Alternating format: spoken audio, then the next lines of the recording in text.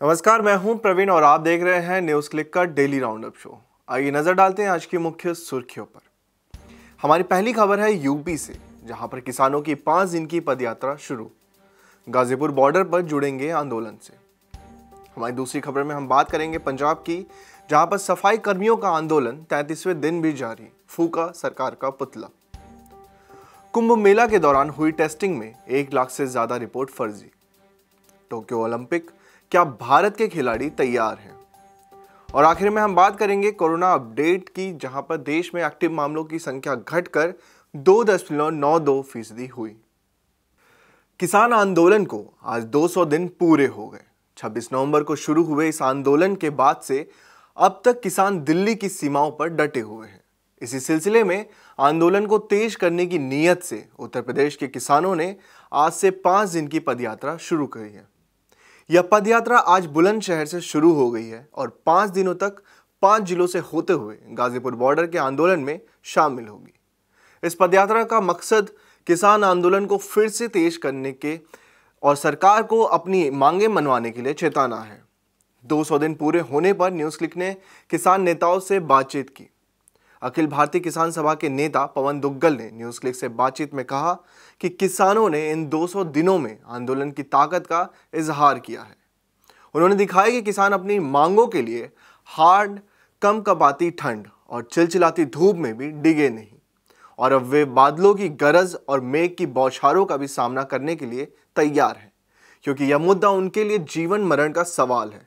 उन्होंने कहा, सीमाओं पर प्रदर्शन के 200 दिन गुजारने के बाद अब एक चीज़ तो तय हो गई है कि किसान खाली हाथ नहीं लौटेंगे। लोकतंत्र के लिए यह कैसा बुरा दिन है कि लोग बाग अपनी वाजिब मांगों को लेकर सड़कों पर उतर पड़ते हैं और यहाँ तक कि इन सड़कों को विवश तावस लड़ाई का मैदान बना देते हैं। तब भी देश की अगर एक चुनी हुई सरकार गूँगी और बहरी बनी रहती है। म्यूनिसिपल मुलाजिम एक्शन कमेटी एवं सफ़ाई सेवक यूनियन पंजाब के आह्वान पर सफ़ाई सेवक यूनियन की हड़ताल तैंतीसवें दिन भी जारी रही। सफ़ाई कर्मियों ने पंजाब सरकार का पुतला फूक कर जमकर नारेबाजी की। इस मौके पर सफ़ाई सेवक यूनियन के अध्यक्ष सतपाल चावरिया व सीवरेज कर्मचारी यूनियन के अध्यक्ष सतपाल अंजान ने कहा कि सरकार द्वारा अभी तक उनकी मांगों पर कोई ध्यान नहीं दिया गया। सफ़ाई कर्मचारी, सीवरेज कर्मचारी व म्यूनिसिपल कर्मी इस कोरोना काल में अपनी जान जोखिम में डालकर अपनी ड्यूटी को तनदेही से निभाते रहे हैं तथा कच्चे कर्मचारियों को काम करते पंद्रह से बीस वर्ष हो गए हैं। इस महँगाई में अपने परिवार का गुजारा बहुत कम वेतन में करने को मजबूर है। इसलिए सरकार इन कर्मचारियों को बिना शर्त पक्का करे। उन्होंने कहा कि 1 जनवरी 2004 के बाद भर्ती हुए कर्मचारियों की पुरानी पेंशन स्कीम लागू करनी चाहिए, क्योंकि कर्मचारी 35 से 40 वर्ष तक नौकरी करते हैं तथा पेंशन ही उनका एकमात्र सहारा होता है। इसलिए पुरानी पेंशन स्कीम बहाल होनी चाहिए, छठे पे कमीशन को लागू करना चाहिए। डीए की किश्तों को तुरंत जारी करना आदि मांगों को कांग्रेस पार्टी ने सत्ता में आने से पहले अपने चुनाव घोषणा पत्र में शामिल किया था। लेकिन पंजाब सरकार ने साढ़े चार वर्ष बीत जाने के बावजूद भी अब तक कोई ध्यान नहीं दिया। उन्होंने कहा कि जब तक म्यूनिसिपल कर्मचारियों की मांगे पूरी नहीं होती, तब तक संघर्ष जारी रहेगा। अप्रैल में कोरोना वायरस की दूसरी लहर के दौरान हुए कुंभ मेला में सबसे बड़ा कोविड टेस्टिंग घोटाला होने की बात सामने आई है। दरअसल जाँच से पता चलता है कि कुंभ मेला के दौरान जो टेस्टिंग हुई, उनमें से करीब एक लाख टेस्टिंग फर्जी है। यह जाँच तब हुई जब उत्तराखंड हाईकोर्ट ने एक दिन पहले कहा था कि उन्हें लगता है कि कुंभ के दौरान चार लाख से ज़्यादा टेस्ट फर्जी हुए हैं, जिनमें एंटीजन टेस्ट ज़्यादा शामिल थे। एक दिन पहले ही जो हाल बिहार का सामने आया था, ठीक उसी पैटर्न के साथ कुंभ में हुई टेस्टिंग के को फर्जी बनाया गया। जाँच में बताया गया है कि ऐसा करने से 20 से ज़्यादा प्राइवेट टेस्टिंग लैब शामिल हैं। अब उन लैब की जाँच हो रही है। फर्जी टेस्ट रिपोर्ट आई कैसे? आपको बता दें कि राजस्थान, हरियाणा, पंजाब से लोगों ने बताया है कि उनकी फ़ोन में आरटीपीसीआर टेस्ट की नेगेटिव या पॉजिटिव रिपोर्ट का मैसेज आया, जबकि उन्होंने टेस्ट करवाया भी नहीं था। प्राइवेट लैब वालों ने टेस्टिंग किट के नंबर भी फर्जी इस्तेमाल किए। और कहीं कहीं तो ऐसा हुआ कि टेस्टिंग किट की संख्या, ज़्यादा टेस्ट की संख्या दर्ज की गई। आपको बता दें कि जब उत्तराखंड में जारी कुंभ मेला की आलोचना हो रही थी तो इसे हिंदू आस्था से जोड़कर देखा जा रहा था। जानकारी ने तब भी आगाह किया था कि इसकी वजह से उत्तराखंड में सबसे बड़ा कोविड विस्फोट का खतरा होगा, और ऐसा हुआ भी। उत्तराखंड के गाँव तक कोरोना पहुँच चुका है। उसी दौरान जहाँ बाकी जिलों का पॉजिटिव रेट 10 परसेंट से ऊपर था, वहीं फर्जी टेस्टिंग के माध्यम से हरिद्वार का टेस्टिंग रेट 2 परसेंट कर दिया गया था। लगभग एक साल विलंबित टोक्यो 2020 ओलंपिक खेल अब जुलाई 23 से अगस्त 8 के बीच खेले जाएँगे। इन खेलों में लगभग 206 देशों के 11,000 से अधिक खिलाड़ी शामिल होंगे जिनमें 100 के आसपास भारतीय खिलाड़ी भी हैं। और जानकारी के लिए सुनते हैं सिद्धांत एने को। आज की इस डेली राउंड अप में हमें शामिल करने के लिए आपका शुक्रिया। बिल्कुल ठीक आपने बताया कि 11,000 से ज़्यादा खिलाड़ी टोक्यो 2020 ओलंपिक्स के लिए फाइनली शामिल मतलब मिलने वाले हैं, जाने वाले हैं टोक्यो। जहाँ एक साल के विलम्ब के बाद ये गेम्स ओलंपिक गेम्स जो शायद विश्व में सबसे बड़ा मल्टी डिसिप्लिनरी स्पोर्टिंग इवेंट है, वो रखा जाएगा।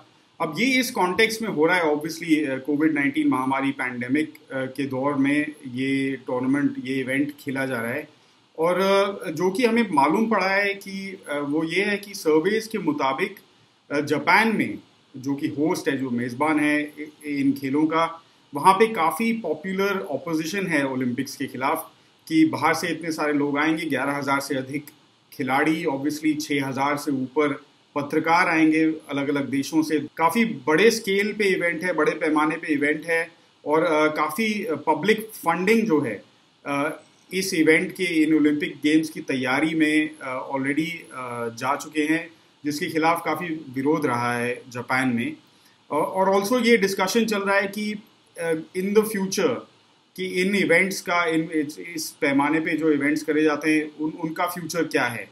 तो इस कॉन्टेक्स्ट में हम थोड़ा बात कर रहे हैं ऑब्वियसली ये काफ़ी पेचीदा मामला है।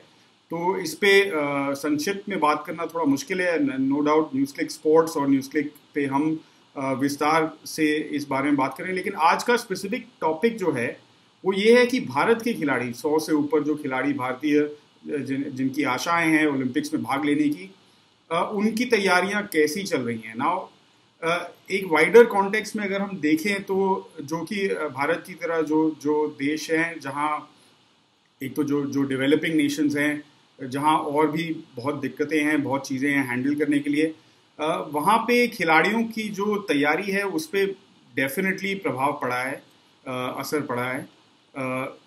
इवन इन हमारा जो कवरेज है इन इवेंट्स का, इन एथलीट्स का, उस पर भी फ़र्क पड़ा है बिकॉज़ हम स्पेशल प्रोटोकॉल्स के तहत काम कर रहे हैं, जबकि जहाँ की काफ़ी सारे ये एथलीट्स आइसोलेशन में हैं अलग अलग सेंटर्स में अपने स्पोर्ट के मुताबिक कहीं कहीं इसमें स्पोर्ट्स अथॉरिटी के सेंटर्स हैं कुछ प्राइवेट भी हैं, जैसे जे की फैसिलिटी है कर्नाटका में इंस्पायर एकेडमी के के के नाम से।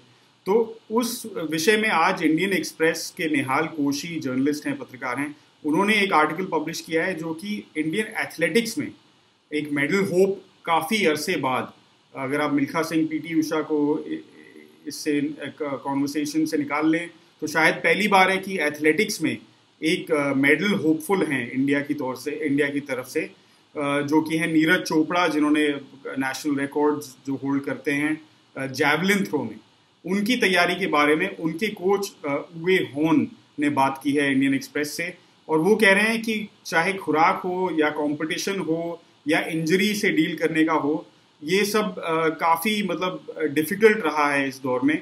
और इसके कारण जो प्रदर्शन रहेगा शायद उस पर काफ़ी असर पड़ सकता है भारतीय एथलीट्स के लिए। तो तो ये सारी, ये दिक्कतें हैं।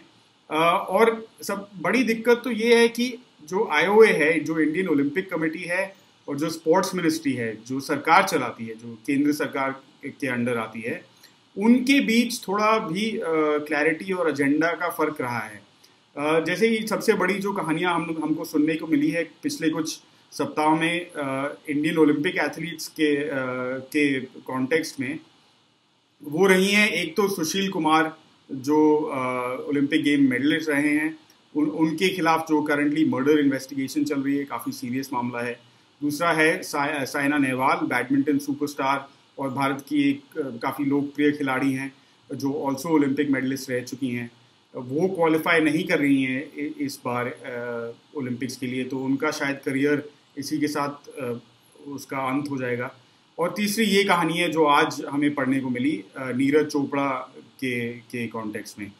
तो काफ़ी इंटरेस्टिंग विषय है चर्चा का कि कैसे इस दौर से भारतीय खेल और खिलाड़ी निकल पाएँगे और इस कॉन्टेक्स्ट में क्या मायने रखता है ये सब कहानियाँ कि हाल ही में हम हम स्वामी संदेह को बोला कि लीनिंग जो एक चाइनीज़ ओन्ड कंपनी है जो स्पॉन्सर करती थी, भारतीय जो ओलंपिक टीम का जो किट है, उसको स्पॉन्सर करती थी, उसको हटा दिया गया है।